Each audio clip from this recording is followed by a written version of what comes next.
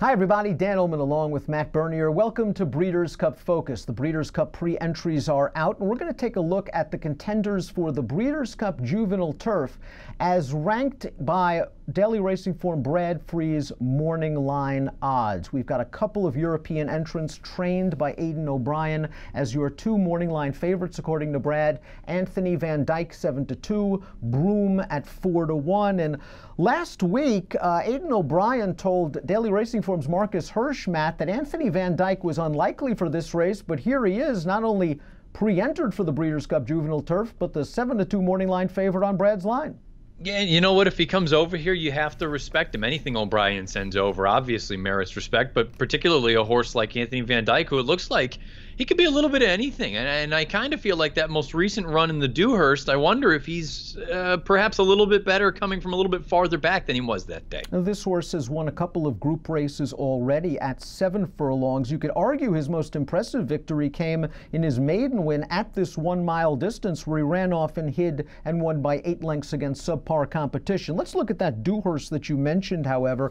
He is down towards the inside and he kind of makes the lead a little bit early here and he's just no match match for the top two. The winner of this race, Too Darn Hot, is a very exciting prospect, however, and Anthony Van Dyck Chimp simply was just overmatched. We see him now, he's taking the lead. They're going to be coming for him on the outside. I thought all in all, this was a really solid third place effort. The Dewhurst has been a very strong prep race for the Breeders' Cup Juvenile Turf, and if he runs here, he is a major contender to be sure.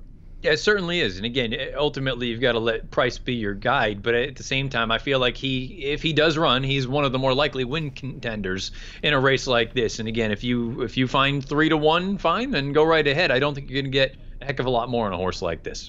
Broome is the second choice on Brad's morning line at 4 to 1. Broome is still only a maiden winner from five starts, but he was Group 1 placed most recently at Longchamp in the Prix Jean-Luc Lagardère. We're going to take a look at that race right now. Now, Broome was able to make the lead from the get-go under Ryan Moore in this short field, and I don't really think they were going very fast.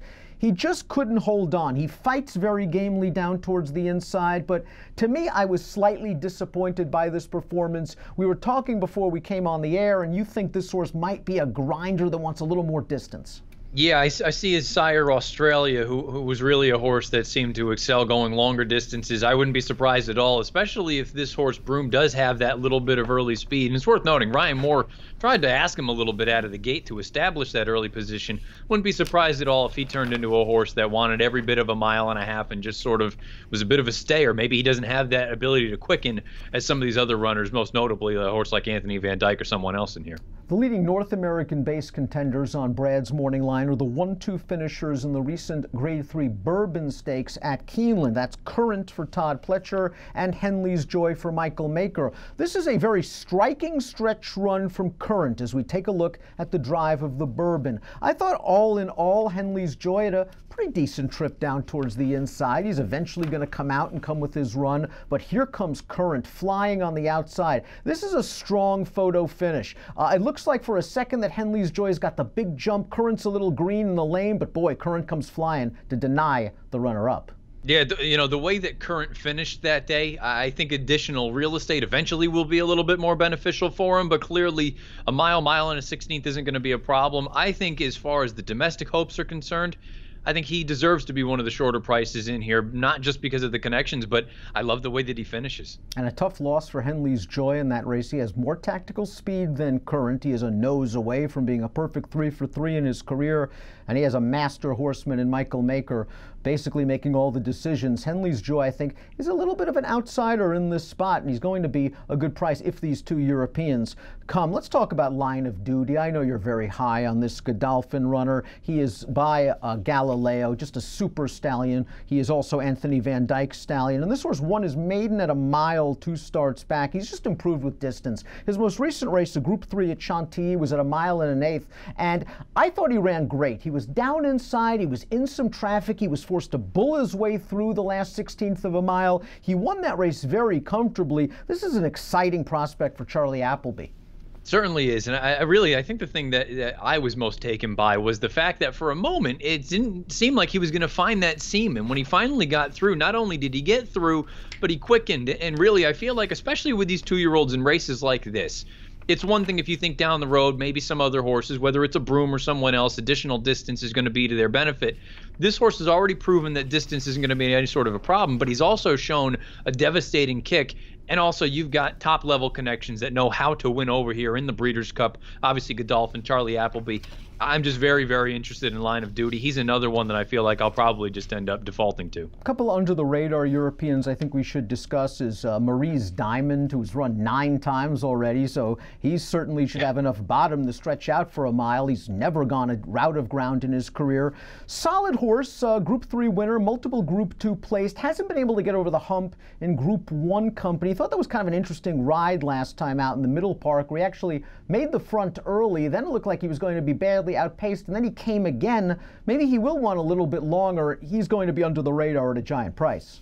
Yeah, and you know, I guess this is one of those races where if you don't necessarily trust any of the shorter prices, why not take a shot on a European coming over here, getting some class relief? But admittedly, when I look at it, the distance, I'm not really too terribly concerned. I think they're going to be able to get out to that mile. I just think it's more a matter for me of concern with is he really this good? Because when they've tested him over there, he's gotten his doors blown off. I just don't know that he's quite up to snuff as far as some of these better horses are concerned. It's a fair point to be sure. Uh, another one coming off of a group win in France is the Black Album. He was 16 to 1 when they won the Prix La Rochette last time out. It was a hard fought blanket finish. Not sure how good he is, but he's really only run one dud in his career. Yeah, he, I was going to say he's. I feel like he's kind of unexposed. You haven't seen him, you haven't seen enough of him to make a definitive statement. The only thing that leads me uh, to be a little bit concerned is when you look at the Timeform ratings that he has earned as opposed to some of the other Europeans. He is he's quite slow. He's considerably slower than the O'Brien couple. He's considerably slower than a horse like uh, like Line of Duty. I just think there's a real scenario where he's going to need to up his game significantly if he's going to threaten for the win. We talked about Too Darn Hot being one of the leading two-year-olds, if not the leading two-year-old in Europe. Europe right now. A horse that finished second to him in the Solario Stakes was Arthur Kitt, who was coming off a little bit of a layoff. He was no match for Too Darn Hot that day after a pace-setting gambit. Last time out in the Royal Lodge Stakes, really in fire for for one reason or another, and that was kind of a disappointing performance in his first start at a mile. You look at his pedigree though, and you would think he should get a distance. I was going to say, I almost wonder if this is going to be too sharp for him. And again, very similar to what I spoke about with Broome. Broome being by Australia, this horse being by Camelot. We know distance, distance, distance. Going to want to go all day. Um, I, I I agree with you. I feel like that Royal Lodge was disappointing, and I don't think there was really any excuse for it. He was one paced, but that's kind of what I think we may end up looking at. He may be a one pace sort of distance type. Anthony Van Dyck, 7 to 2 on Brad Free's preliminary morning line. That's the favorite for the juvenile turf. But stay tuned for all of Daily Racing Form's Breeders' Cup coverage. DRF.com forward slash BC. This race still in flux. We see an overflow field. It's quite possible that the complexion of this race completely changes once they draw entries next Monday.